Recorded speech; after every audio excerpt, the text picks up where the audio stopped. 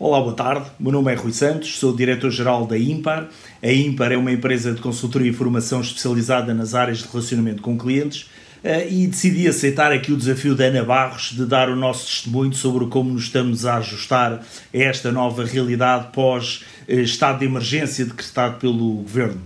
Eh, em bom rigor, a Impar é uma empresa que existe no mercado há 12 anos e, dada a natureza nossos, dos nossos serviços, eh, seja na área da consultoria, da gestão da qualidade ou da formação, eh, temos eh, particular facilidade em prestar este serviço à distância. Eu, se calhar, até destacaria destes três, o dois que têm sido aqueles onde temos estado a investir mais, nomeadamente ao nível da formação e da gestão da qualidade. O caso da gestão da qualidade é paradigmático, não é? O, o, a forma como o executamos é eh, essencialmente através de quatro grandes áreas, nomeadamente a análise de indicadores de performance, a realização de audições e monitorização de contactos, a realização de cliente mistério, bem como a realização de inquéritos a clientes por via normalmente de contacto telefónico, sendo também muitas vezes o podemos fazer através de outros canais e como facilmente se compreende, qualquer uma destas atividades pode ser feita remotamente, eh, tendo os nossos auditores nas suas casas,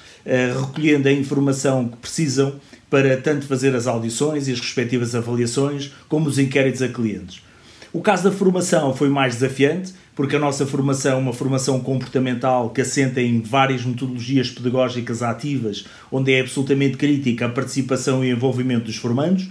eh, obrigou-nos a fazer uma seleção criteriosa das ferramentas que existiam no mercado. Depois, selecionadas as ferramentas, obrigou-nos a rever todos os nossos materiais pedagógicos, nomeadamente exercícios, dinâmicas, etc. Mas é com bastante satisfação que hoje em dia constatamos que conseguimos fazer toda essa conversão com sucesso. Já estamos a fazer muita dessa formação que tradicionalmente fazíamos em sala, estamos neste momento a fazê-lo à distância, permitindo que os nossos clientes tenham os seus colaboradores nas suas casas, onde nós próprios também temos os nossos formadores nas nossas casas e consigam fazer com bastante sucesso todas as dinâmicas, aproveitando inclusivamente, em alguns casos,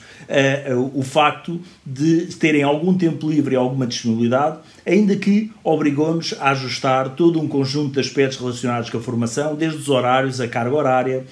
os materiais eles mesmos, mas com bastante sucesso. E por isso estamos curiosos e